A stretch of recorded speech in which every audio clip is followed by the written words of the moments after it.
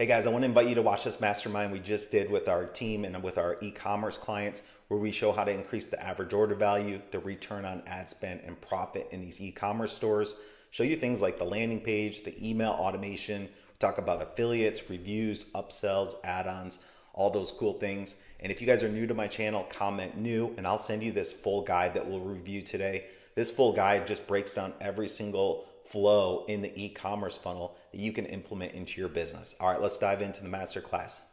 Hey, how's it going, team? Thank you all for hopping on today. I'm excited for this uh, this mastermind with you all. A lot of you are six-figure to seven-figure e-commerce store owners, and a lot of you I've helped you with build your website. So thank you for giving me that opportunity. You all know me, uh, Brad Smith, and I've been doing this e-commerce stuff and website stuff for like eight years something really cool. I just got my silver plaque from YouTube, so I'll keep making these mastermind videos, joining, having you guys join me on Zoom, and then I'll um, upload them to YouTube so you can go back and watch it. If you have anyone that has a store, feel free to refer them to these these videos. But I just wanted to give back to you guys um, for supporting me and just walk you through some things I'm seeing in the e-commerce world that's working.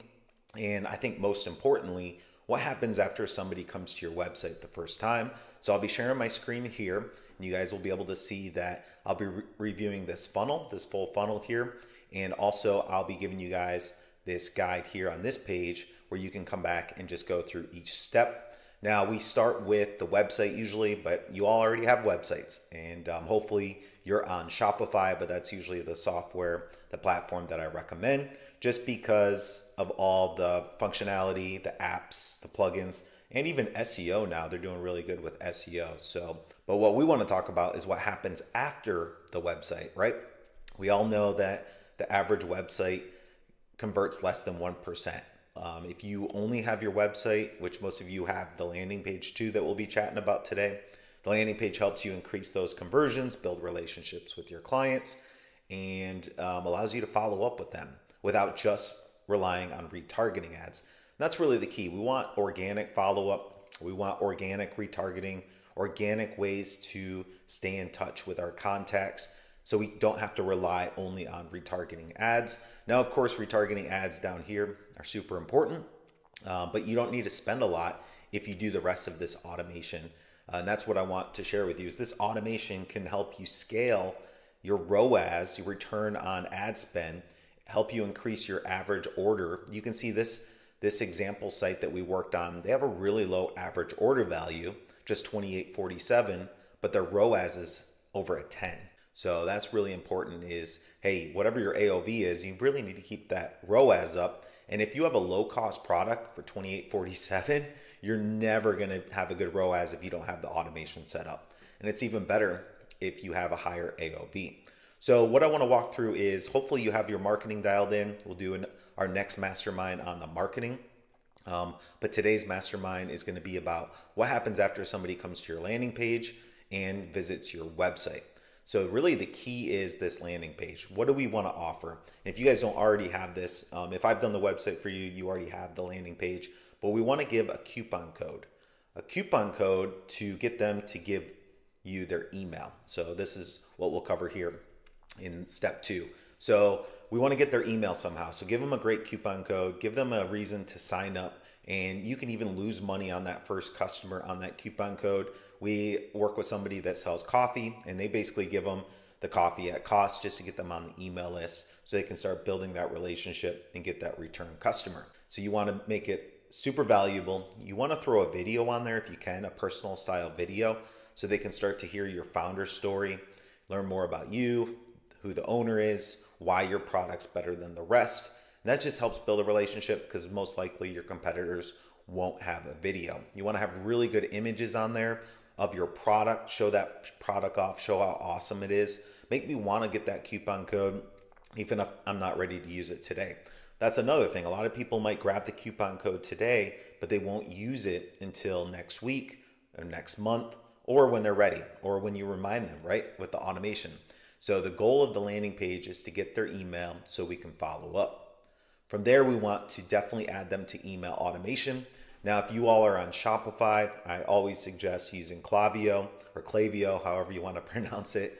and um, start segmenting those lists, set up the automation so we can follow up with them, and of course, do some A B testing on your abandoned carts in the follow up after they come in through the landing page. Really key. But what we want to do is as soon as they subscribe to your landing page or even the newsletter on your website, and if you use pop ups, I don't love pop ups anymore. Um, you can use newsletter forms um, throughout your homepage and even up at the top, a banner of your Shopify site for the coupon code. So usually we put right up at the top the banner, get 10% off, click here, they click here, then the pop up opens and they can subscribe for the coupon code. And this first email, I think, is besides the landing page, super important. We want to ask them to follow you on social media. Why?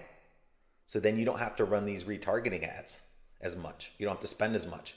So now, if they've come to your landing page, and we want to assume all these people are first time visitors, they've never heard of you, they have no relationship with your brand, they don't even know if they trust you yet, and they could go to your competitors. Maybe they're just price shopping. They might even go to Amazon to buy it if, if your competitors are on Amazon. So, e commerce, you have to build a relationship just like B2B. Why should they buy from you? Remind them to buy from you. Show them that they're joining your community, your brand, your tribe, whatever. So they want to keep buying from you. And that's where this first email comes in. Thank you so much for signing up. Here's your coupon code. And by the way, follow us on Instagram where we show really cool product examples and people like you using our products. Something like that goes a long way. Once they follow you on social media, and by the way, have them follow you on your most active social media. Where are you the most active at? That's what you want to do. If you're the most active on Facebook, send them there. Instagram, send them there, wherever. Because you want to be consistent. So now what we want them to see is your social media post, and then your retargeting ads, and then your emails. So if somebody's seeing you in three different places, they start feeling like they know you. You look like a celebrity online. I know a lot of you have come back to me and said, hey, my friends and family, they think I'm a celebrity online, or my new customers are like, I see you everywhere. Yeah, because you're seeing me in the email, you're seeing me on social media, you're seeing me in the retargeting ads, the Google, the YouTube ads. That's really key. When somebody sees your brand as an authority, they're more likely to buy from you. And now, what you want to do with these emails is keep following up. First one, follow me on social media. Here's the coupon code. Email number two, how can we help? Do you have any questions about the product? FAQs, frequently asked questions Education. This is really key because you don't want to be the e commerce store that's only selling. You want to be educating. So, what are some educational things you can educate your audience, your new visitors on about your product or about the type of product you sell? Do you sell lights? Why are your lights better? Do you sell gym equipment? Why is your gym equipment better? You know, whatever you sell, why is it better? Educate them. Don't sell it don't give them a, another coupon code. You already gave them a coupon code. Don't do a salesy email. Education. Wow, this company is educating me. This brand is helping me. They're giving me more information. From there, then you want to allow them to either come back to your site and watch a video. You want them to um, remind them to get a coupon code, maybe join your Facebook group, uh, maybe read a blog, right? You can send them to many different things to come back to your site. Really key there. So, if you guys have any other questions about email marketing, um, hopefully you all have that website already built. Uh, and if you guys have any recommendations, we're we build Shopify websites for um, and landing pages with them for a lot of e-commerce stores. So send them our way. That'd be awesome. And the email marketing, we always integrate and connect with that. You all already have this set up. We've set this up for you um, segments. Go back and look at those segments that we set up for you in your A B testing and start testing out some different messages. Maybe you see some emails that do well, duplicate on those. But usually, a personal style email asking a question from somebody that hasn't opened maybe the last one or two emails from you can get them to come back and engage. Really key. All right, now it comes into abandoned cart. So uh, we know they're going to see the after the landing page we can either send them to the website or a sales page. Then we want to get them to the cart, right? We want to upsell them um, on the cart. So if you guys, hopefully, you have your subscriptions still enabled on your store where people can subscribe, or the add on products where they can do add on products. Remember, we use Rebuy, the app for that, where you can use the upsells, the add ons, the recommended products during the cart process. Really key there. And if they don't, we need to get them to come back. And we can do that by automated emails. I just bought some sunglasses from a company called Goodr. Really cool. And these are the example abandoned cart text messages they sent me. Now, of course, we need the abandoned cart emails, but the personal text after are really key. So here's some things. We don't bite hard. Come back and complete your checkout before your cart disappears in cyberspace. Like make it fun. Make your texts personal. Don't make them boring. Flash sale. Click here. Add some personality. Add some. How's your long weekend? Um, 15% off. You know, hey, just thinking about you and wanting you to know that we think you deserve some new shades. So peep these stunners. Really cool. So think about personality. Have some fun with it. Be personal Make it funny, make it entertaining about your product. It's really key. Be concise, add value, and personalize it. You know, those are just some simple tips. Make sure you throw these in for abandoned carts for sure. Now, you don't need to just send one. You know, a lot of people just set up one abandoned cart and one text. You need to set up multiple. So just keep following up through that. Pixels and tracking, hopefully you guys have that set up, but that's how we can start setting up these retargeting ads. Anyone that visits the landing page or the Shopify site, we need to remind them. Now, this is key. Get those pixels set up with Google Tag Manager. Um, if you guys think anything's broken or maybe not set up properly, reach out to my team. They'll set it up properly for you. So we're tracking everything. But the key is the retargeting. You really don't need to spend much. A lot of you guys spend just 500 a month on retargeting. So we want to be retargeting with Google PMax ads. So they see you everywhere on Google, Gmail, YouTube, uh, display, other your competitor websites. You need to be retargeting on YouTube, at least have one video out there. So now they're seeing you on Google and YouTube and they can watch your video. You need to be retargeting on Facebook and Instagram and, and TikTok if you guys are on TikTok. But really what we want them to see is what they had in their cart. As soon as they hit that cart page, we want to re-show that product in their feed so they remember to come back and buy. Super key there. Um, and it's just a low cost way to follow up.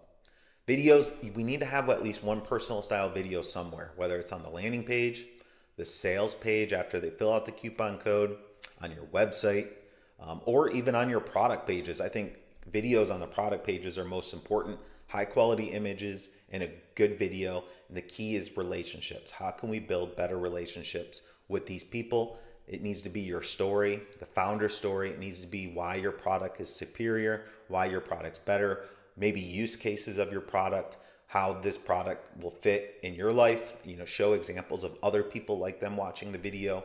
But these videos we want to have on YouTube, we need on the website, and we need to use as retargeting. Super, super important, guys. If you don't have a video, make one. Find someone on Fiverr. Uh, we, we have an affiliate with Fiverr where we can go there. You can get a spokesperson. You can send someone your product so they can demo it for you. They can edit your video if you want to do it personal video. Um, just go there and get one good video showing why your product's better, why it's different, and how somebody could use it. Now, I know we, when we set up these um, pages, a lot of them are, we include the average order value upsells, so you can increase the upsells, the add on products. But what's really key now is some of these softwares allow you to do an upsell after they purchase. So once they purchase, they can upsell and come back and add another product on. That's really key there. You can do bundles, upsells and cross sells, and loyalty programs. So, how can we increase that average order value? That is super key there. All right, affiliates. Now, this is what a lot of you may not already have. So, we want to talk about affiliates and reviews. So, the affiliates are key because after they become a customer and purchase something, we need to immediately send them to an affiliate sign up page. How can I become an affiliate with you? If I love your product, if I'm excited about your product, if I'm buying your product, it probably means I'm excited to buy your product. So at that point, you need to say, hey, why don't you join our affiliate program? We purchased and resold an e commerce store that had an awesome affiliate program, over 16,000 affiliates sending thousands of dollars a day back to the store because they used the product and they were they felt like they were influencers so they recommended the product whenever they wore it so, how can you set up an affiliate program for your business where they can sign up, recommend your product to their friends and family, and maybe you'll get some influencers on there to actually, you know, share it on their social media. Really key there. Incentivize them, make it easy for them to sign up as soon as they purchase, set up an automated email to go out to them, and provide some support. Better support for your affiliates is key because you can give them extra coupon codes. You can give them more incentives to re- refer this. Now we are getting multiple sales from one customer. That's how you can really increase your business and scale your business. Last but not least, you all forget about these. Ask for reviews. There's so many plugins and softwares you can use. Testimonial.to, um, look on Shopify App Store. But as soon as they buy this product, add them to a review request. And what we want to do is we want to make sure we ask them to leave a review on the exact product they purchased. Why? Because then that review will show up in their Google shopping feed. Now you look better than your competitors. Most of your competitors don't have this. So we have the review form and you can send it out. Think about you want to show some empathy towards your customers. Don't ask for a review the next day if it's not even shipped yet. Think about when they get their product and when you think they'll use it. If it's 15 days after purchase, you think they've already received it and they have like one or two days to use it, then ask them for the review. If it's 45 days, do it then. If it's two months, do it then. But think about when your customers will actually receive it and then when they'll use it, and then immediately, immediately ask them to leave you a review. Timing, ease of use, and incentivize them. Give them another coupon code if they leave you a review, or even better, ask for a review and if they leave you a video review with a picture or a picture, give them a coupon code if they do that. That will show social proof. You can then use that to share on your social media. So, all right, that's it. Um, we'll get to answering your guys' questions next. I see them coming in over here. So, um, hopefully, that brought you a ton of value. The next video we'll do is on the marketing. So, make sure you join that mastermind um, class in just a few weeks, and we'll make sure we send you guys the invite. But until then, implement these and um, let's see let's see you scale to these numbers if you're not already there. I know a lot of you are already there monthly, but let's try to get there. Increase AOV, ROAS, and profit, of course. And if you guys are new to my channel, comment new, and I'll send you this full guide that we'll review today. This full guide just breaks down every single flow in the e commerce funnel that you can implement into your business.